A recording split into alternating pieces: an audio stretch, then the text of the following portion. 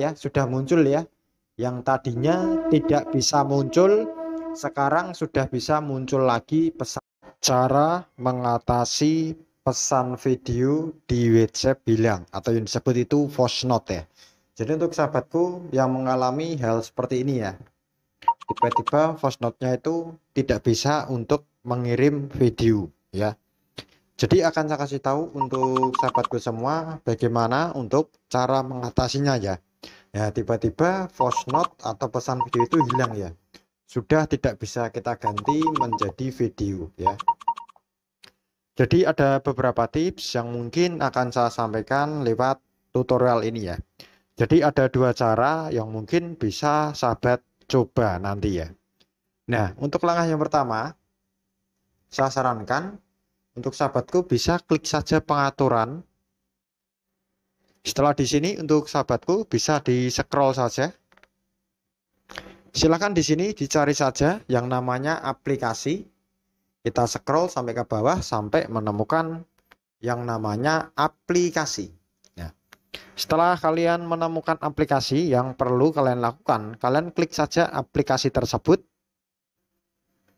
Nah, setelah seperti ini, Silakan untuk sahabatku dicari saja yang namanya WhatsApp. Setelah ketemu WhatsApp, silakan diklik saja aplikasi WhatsApp tersebut.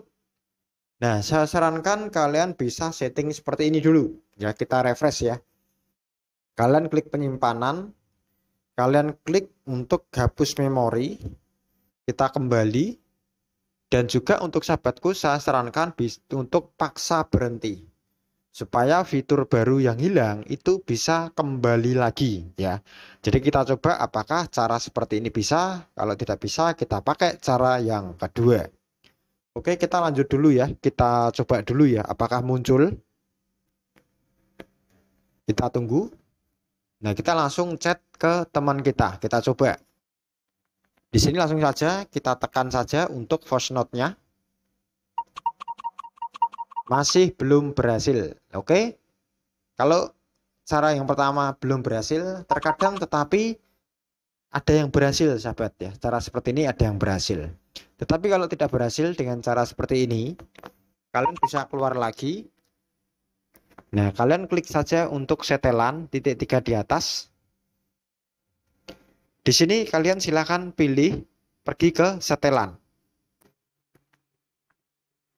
Setelah di sini kita scroll dan kalian bisa pilih untuk yang namanya chat. Di situ ada tulisan Sun Video Instant ya. Silahkan untuk sahabatku bisa mengaktifkannya. Terus kita kembali. Kita klik lagi. Dan kita coba pindah ke voice note video apakah bisa. Ternyata bisa ya. Nah, jadi misalkan kalian kalau sudah kalian aktifkan tetapi masih belum bisa, silahkan kalian update juga ya melalui Play Store ya.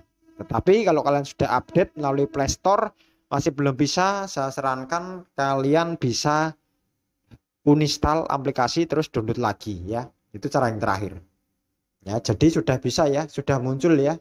Yang tadinya tidak bisa muncul sekarang sudah bisa muncul lagi pesan video atau voice note video. Ya, mungkin itu saja yang bisa saya sampaikan dan terima kasih.